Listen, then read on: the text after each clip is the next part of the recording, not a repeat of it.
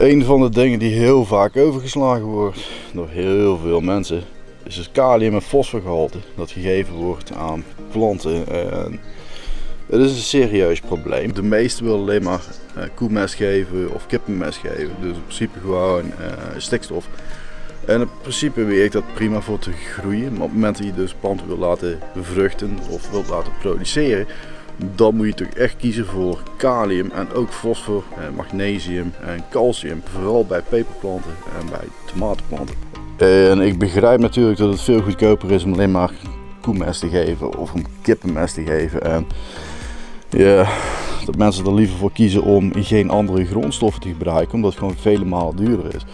Maar het moment dat je alleen maar stikstof gaat gebruiken bij vruchtdragende planten, zul je niet heel veel opbrengst krijgen. Maar zelfs ook heel veel voedingsgerelateerde problemen krijgen. En kalium- en fosforproblemen zijn best wel nasty problemen, vooral bij peperplanten, maar helemaal bij tomatenplanten. Want tomatenplanten produceren tomaten en die gebruiken nogal behoorlijk wat kalium en een berg fosfor. Zelfs zo erg, op het moment dus de tweede tros uh, hebt hangen, in dit geval dit de tweede tros, en je doet de voedingsstoffen niet aanpassen dat het meer heeft, ja, dan heeft hij niet heel erg veel meer vruchtzetting.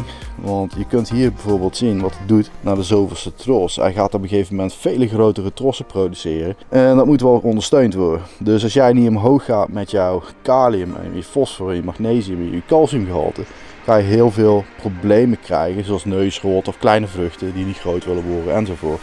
En bij dit soort is het helemaal erg. Omdat niet alleen hier tros produceert.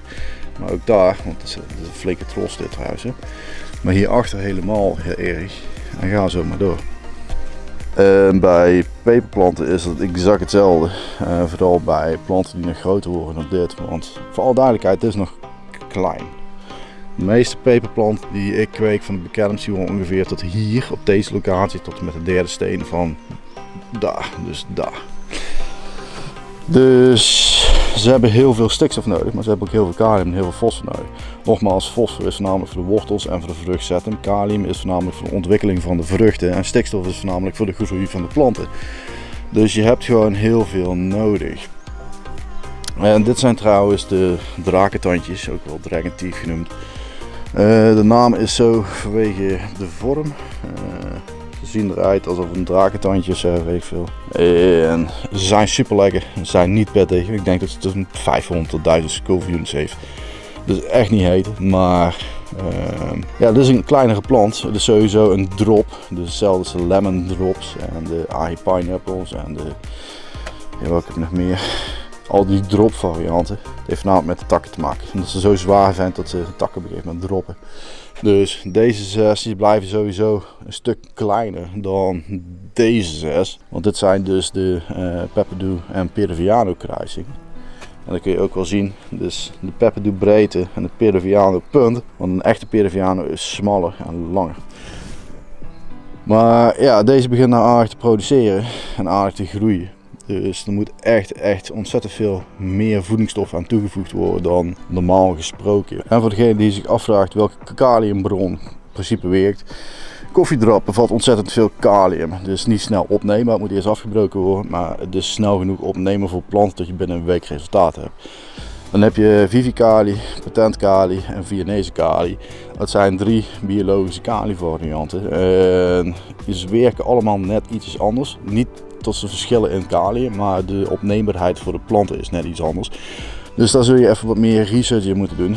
Want sommige planten hebben heel snel kalium nodig, andere niet. Maar ja goed, die zou je kunnen kopen. En je kan gewoon een klein bakje per plant toevoegen.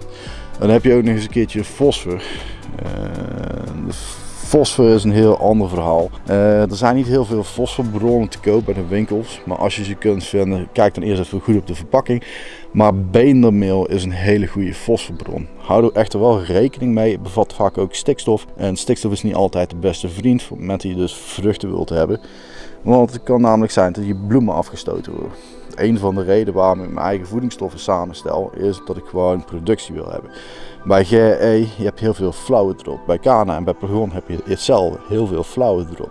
Maar ik heb mijn voedingsstoffen afgestemd voor zowel groei, zoals je kunt zien, maar ook voor ontwikkeling van. En ik heb ja, botjes, maar niet heel veel bloem op de grond liggen. En de beste voedingsstoffen zijn de voedingsstoffen die in symbiose, dus in harmonie met elkaar samenwerken en dus juist afgestemd zijn voor het ontwikkelen van planten. Nogmaals, deze plant is volledig aan het produceren, maar hij is ook aan het ontwikkelen. Dus hij begint nieuwe scheuten te maken, dus er zit voldoende stikstof in om echt te produceren.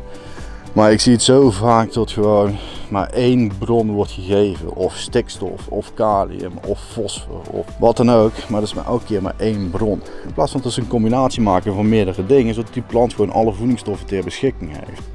En ik begrijp nogmaals, het heeft ook met de kosten te maken.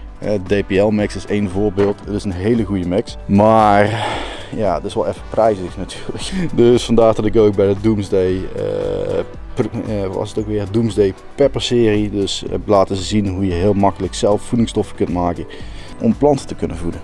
Maar ja, tip nummer 1 is gewoon koop de beste voedingsstoffen die je kunt betalen. Dat betekent niet per se dat je de duurste voedingsstoffen moet kopen. Um, maar zorg wel dat je in ieder geval grondstoffen koopt gebaseerd op je plantsoorten. En niet gewoon uh, tomatenvoedingsstoffen gaat kopen en verwacht dat je daar gewoon superveel resultaten mee gaat halen. Uh, voor alle duidelijkheid, het bevat nog steeds een hoop kalium en een hoop stikstof. Maar in verhouding voor een flesje betaalt nou, 1,40 tot en met 3,40 euro afhankelijk van of je biologisch gaat of dat je de gewone pakt. Nou, je moet uh, eh, 10 flessen hebben voor uh, eh, 1000 liter voedingsstoffen te maken. Dat weet ik toevallig, dat heb ik een tijdje terug moeten uitrekenen. Het is niet altijd de slimste keuze om die van de Action te pakken. Want er zit nauwelijks fosfor in, er zit nauwelijks trace mineralen in. Of beter gezegd, er zit geen fosfor in en geen trace mineralen. En zover als ik weet zit er geen calcium in, want het reageert met voedingsstof. Dus kan niet zomaar in één fles gedouwd worden. En het bevat geen magnesium. Dus er zijn al vier ingrediënten die gewoon één product mist die je alweer extra moet gaan kopen om je planten te voeden. Dus tegen de tijd dat je voedingsstoffen hebt gekocht en dingen erbij moet gaan kopen om dingen op te lossen, dan kun je net zo goed een professioneel product kopen. Maar zoals ik zei, Vivicali, Viennese kali, Patent kali, het zijn allemaal verschillende kalibronnen. En ondanks natuurlijk de werking van hoe snel de plant het op kan nemen anders is per soort. Het zijn drie prima bronnen om uh, als kalium te kopen om toe te voegen aan je planten. En beendermeel is een prima bron uh, van fosfor. Alleen nogmaals, je moet dan wel erg opletten met je uh, stikstofgehalte. Want de meeste mensen geven heel veel stikstof. Of nou synthetische voedingsstoffen is of biologische meststoffen is. Maar er wordt heel vaak heel veel toegevoegd. En op een gegeven moment zien ze heel veel bloemen ervan afvallen. En dan gaan ze dan pas kijken van wat er in werkelijkheid aan de hand is. En dan kijken ze op de en dan zien ze, hey shit, dat is 13% stikstof of 6%, whatever het is. Het probleem nogmaals bij peperplanten is dat gewoon de flauwe drop heel erg intens is. Je ziet op een gegeven moment al je bloemen op de grond liggen en geen vrucht die gaat zetten. Want er is gewoon ja, de plant die wil gewoon eigenlijk doorgroeien. Er is veel te veel stikstof en de plant blijft maar groeien, groeien, groeien, groeien, groeien. Dat is iets wat uh, een jaar terug in de kast bij Chris gebeurd is. Chris gaf vijf keer de hoeveelheid uh, stikstof en alle planten die schoten de lucht in. En ja goed, dat levert dus een hoop problemen op. En dan krijg je in één keer de vruchten die hangen, die krijgen een onveilige grote hoeveelheid stikstof in de vrucht. En dat is eigenlijk niet goed voor de gezondheid. Maar ook uh, de bloemen, die worden afgestoten en je ziet in één keer planten de lucht in schieten. ze produceren nauwelijks nog wat. Dus het worden van die hele lange slappe planten en dat heeft gewoon totaal geen leven meer in zich zetten. Want het enige wat het wil doen is de lucht ingaan. Lange planten, tenzij ze produceren, zijn niet echt praktisch. Oh, vergeet trouwens ook niet gewoon de magnesium en calciumbron toe te voegen. En eventueel trace mineraal toe te voegen, zoals dit.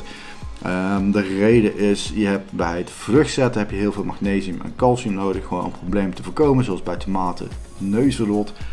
Maar heel vaak zie je ook gewoon trace mineraal gerelateerde problemen. En vooral bij productie, omdat de plant echt de hele pot leeg gaat zuigen van voedingsstoffen. En trace mineraal hebt hij dan ook wel wat nodig om uh, zijn volgende generatie te produceren. Want de zaden die in een vrucht zitten, die krijgen genetica mee. En die krijgen ook een klein beetje voedingsstoffen met zich mee om de volgende zet uh, te laten ontkiemen om uh, vruchtbaar te zijn en die dingen allemaal. Dus je hebt ook gewoon trace mineraal nodig die je toevoegt aan je planten om een goede generatie te krijgen voor het aankomend jaar. Een calciumbron zou je eventueel gewoon uh, calciumacetaat kunnen maken. Daar heb ik een video over gemaakt. Dat is vrij makkelijk eigenlijk. of gewoon een maand of twee, drie van tevoren al uh, eierschalen geven in grote hoeveelheden aan je planten. Maar dat is niet altijd heel erg praktisch, want eierschalen duurt uh, vier, vijf maanden voordat het afgebroken is naar een vorm dat de planten kunnen opnemen. Doe je calciumacetaat maken, dan is het binnen 24 uur opneembaar. Maar ja, het vereist wel werk. En je kan eventueel ook gewoon een calciumbron kopen bij de welkoop of bij de boerenbond, gewoon om wat extra's toe te voegen. Maar hou er rekening mee, zelfs die calciumbron die duurt een eeuwigheid voordat het opneembaar voor een plant is. Maar nogmaals, je kunt gewoon calciumacetaat gebruiken en dat is een prima calciumbron. En magnesiumsulfaat is eigenlijk een hele goede bron voor zowel voor magnesium als voor zwavel, want het bevat allebei. Dus een kleine recap, geef voldoende kalium om uh, de vruchtig te laten produceren. Geef voldoende fosfor voor fatsoenlijke wortelontwikkeling, voor goede vruchtzetting voldoende magnesium en voldoende calcium om in ieder geval uh, vruchtig gerelateerde problemen te voorkomen. En ja, trace mineraal, dat is gewoon ook echt een dingetje wat heel vaak overgeslagen wordt, maar dat moet echt, echt bijgehouden worden.